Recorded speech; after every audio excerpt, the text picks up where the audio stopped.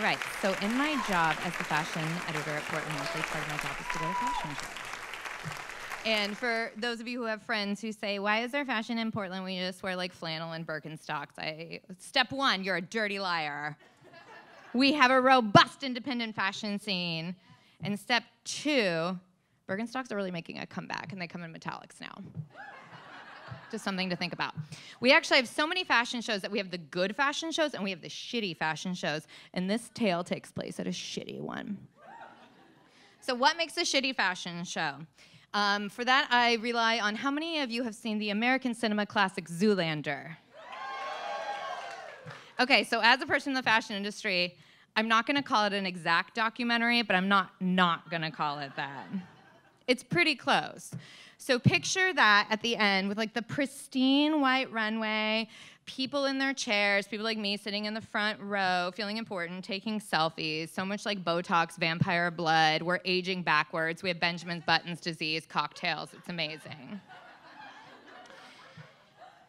the thing about it that's not good is people are at this show not to watch fashion. This is where I get annoyed. I'm sitting there with my notebook. That's how you know I'm professional. Notebook. And they're there to get fucked up, which annoys me because I'm there to support the scene, sustainability, people creating, all of that. They're there to wear Forever 21 tube dresses. And specifically the dresses that are either, it's like a Sophie's choice of do I show my vagina, do I show my boobs? One has to show. And that is your choice, your body, your choice to make, but one has to be made. And I picture them walking out of the mall with their Forever 21 thing, and at the bottom of each one it has Bible verse John 3:16. That's a true fun fact about Forever 21. So they're also walking around going, I love fashion. Annoying.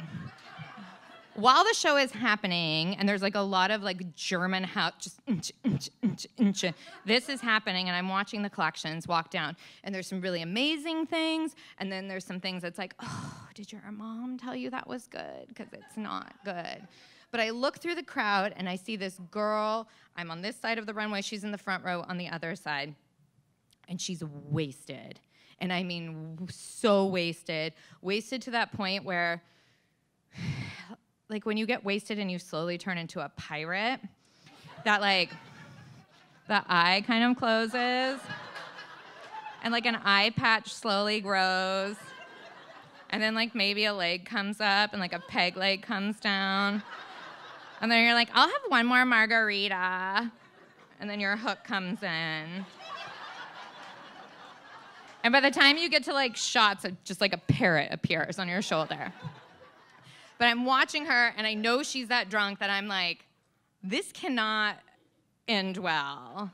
It can't end well. And so we're on the last collection, and now I'm just obsessed with her. And my notes, which normally have things like Delta Burke esque in there, is no, it, there's nothing. I'm just watching her.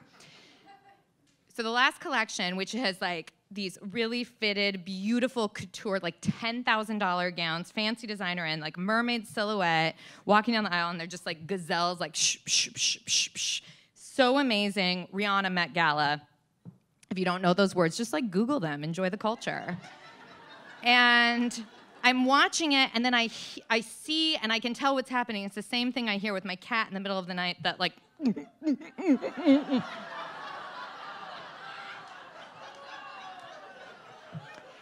So, um, sweet little Dread Pirates Forever 21 takes off her purple stiletto heel.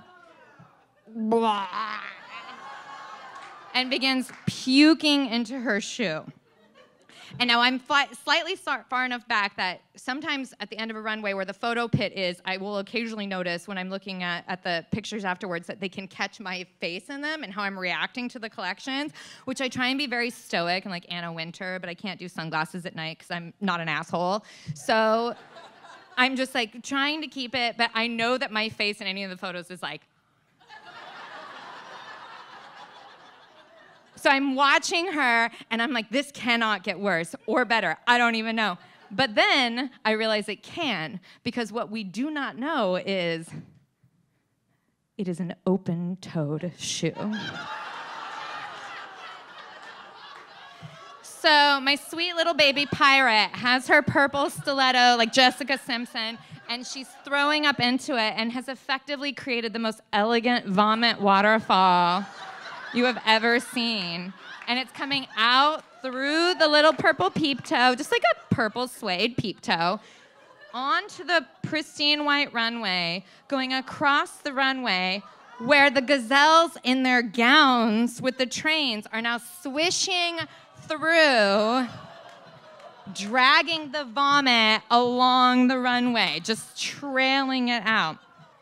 And she keeps going. The ones behind are bringing more of it. The third gazelle slips, regains herself, regains herself. But it was amazing. Now I've gone into the hooray, how did I end up here? If the photo sees my face, I'm like, oh, most amazing fashion show now I've ever been to in my life. The third one makes it through. Then, sweet little pirate passes the fuck out. Boom, down on the runway. You've seen that episode of Sex in the City, Fashion Roadkill? I'm living it real life now. She's on the runway. Gazelles are just walking over her and going, keeping on their way.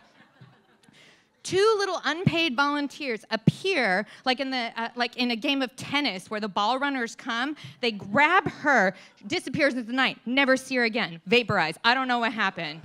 We should probably put out a missing, missing persons case. I have no idea. She's gone.